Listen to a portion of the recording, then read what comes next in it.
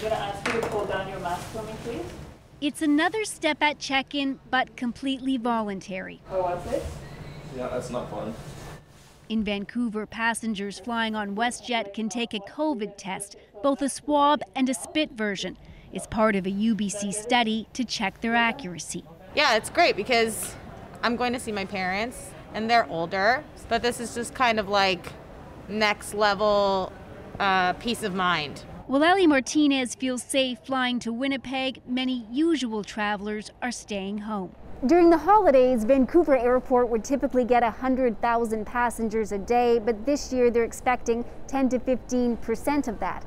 With the vaccine still several months away for most Canadians, the aviation industry is looking at ways to help make people feel safe about flying again.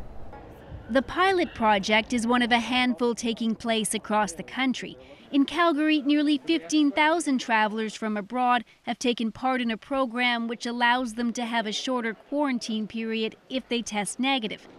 In Montreal, the airport launched on site rapid testing for those traveling to France. They need to have the negative results. So, for them to, to be able to do it in kind of a one stop shop at the airport is very convenient.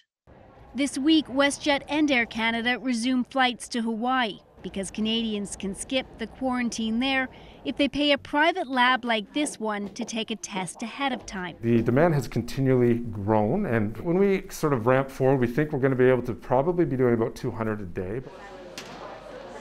All of the testing is part of an attempt to figure out air travel in a COVID world. Having an advanced screen for COVID, even with a vaccine, is going to be important. I'm free. Because if airports find tests that are reliable, it could go a long way in convincing people to start traveling again. Have a good flight. Thank you. Briar Stewart, CBC News, Vancouver.